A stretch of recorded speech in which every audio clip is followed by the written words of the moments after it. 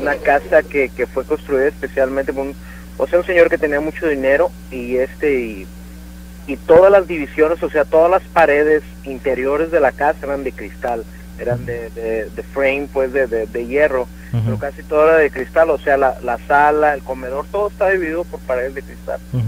Y este, y cuando mi papá compró esa casa, pues mandó poner cortinas en todas partes, ¿no? Para tener más privacidad. Ujú. Inclusive los dormitorios, todos tenían puertas de cristal y, y las paredes y todo, y tenías que, tuvo mi papá que poner cortinas, ¿no? Para la privacidad. Pues yo creo que había leído las cenicientas ese muchacho. Yo creo, ¿no? Yo Ajá. creo, era un medio excéntrico el señor, ¿no? Ajá. Entonces, este, inclusive saliendo de la cocina tenía una, una fuente de una Virgen de Guadalupe de piedra, Mm. y este, y en el patio también, bueno, medio excéntrica la casa, la verdad que era un tamaño residencia, ¿no? Bastante grande. Y este y, y la familia de este señor el cual le vendió la, la, la casa a mi padre este los mismos hijos como nos conocíamos muy bien de la escuela y todo decían que les pasaban ahí cosas Ujú. y inclusive a mis hermanos y a mis primos les pasaron cosas veían a personas así como hace rato que dijo este este señor que te habló que que se asomó a alguien y que todos lo vieron una vez estábamos viendo la televisión y uno de mis amigos volteó para la cocina y me dijo oye hay alguien aquí algún familiar tuyo y yo, no ¿por qué? dice porque ahorita se asomó una señora de ahí de la cocina y fuimos, buscamos, y habíamos como, ah, era él y otros dos hermanos míos y yo, buscamos por debajo de las camas, closet y todo, no encontramos a nadie. Nada. Mi mamá también de vez en cuando estaba sola en la casa y oía que, que le, le bajaban al, al excusado o abrían alguna puerta y la cerraban o, o le prendían la televisión y iba y, y no había nadie.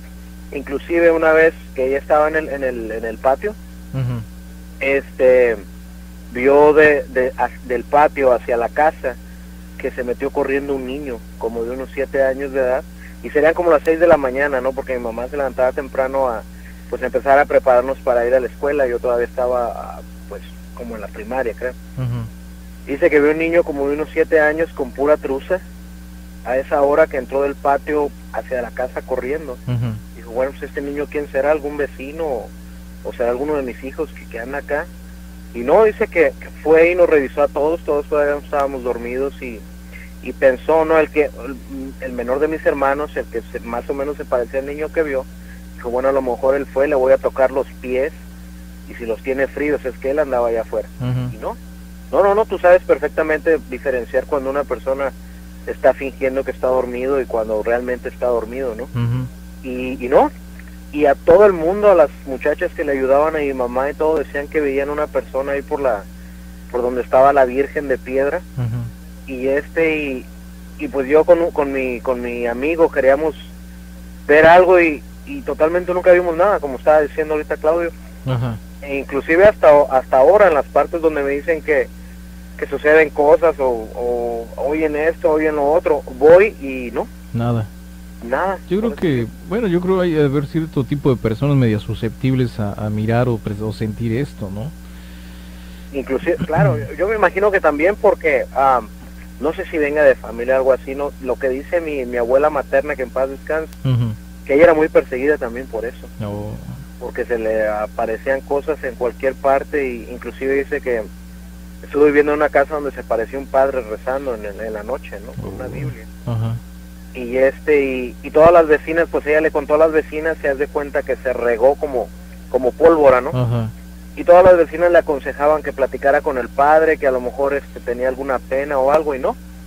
Nunca lo hizo y parece que se salió de ahí mejor por el temor de pues de ver ese espectro. Llegó otra persona y parece que el padre había dejado dinero. Oh. Y esa persona sí sí se atrevió a hablar con, con el con el, el espectro este que se parecía. Sí.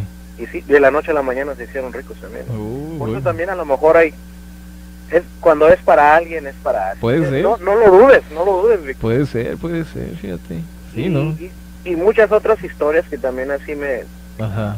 de, de- porque tengo muy buena memoria para eso no que Mira. me sé o que me han contado que, que me pongo a pensar bueno qué sería cuál sería la impresión y, y pues no sé no no ya no- ves, no sé pues cómo- cómo abusado.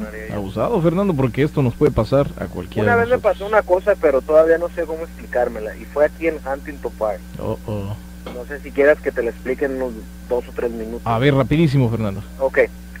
Una vez salí de bailar, Mm, o sea, fui a un lugar a bailar con unos amigos, con una amiga. así saldría. Llegué a un, una, un restaurante, no es un, es un restaurante que vende todo tipo de comida mexicana en Hampton Park, bastante conocido, yo creo que. Sí, pues eh, ahí vamos, ahí vamos por las tortas a la medianoche. Ándale. Ajá.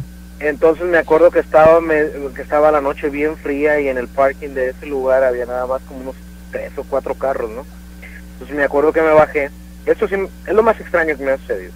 Me bajé de mi carro y había un muchacho a esa hora, serían como las tres y media de la mañana, cuatro quizás.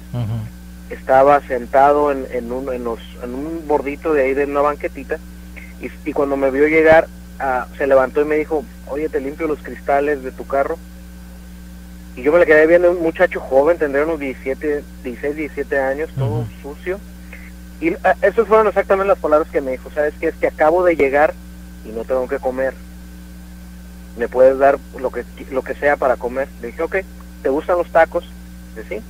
Le digo, ok, te voy a traer unos tacos. En lo que yo me metí, ok, le pedí unos tacos, le pedí un, un refresco también, pero primero me dieron los tacos, ¿no?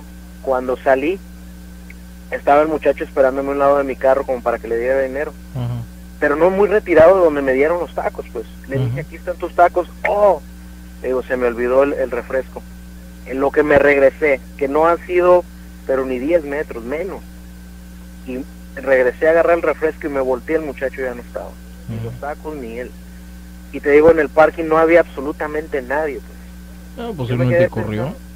No, pero yo me, o sea, no puede, tan rápido es imposible, Víctor, porque solamente duró unos segundos en voltearme y, y agarrar el refresco y ya, ya no estaba.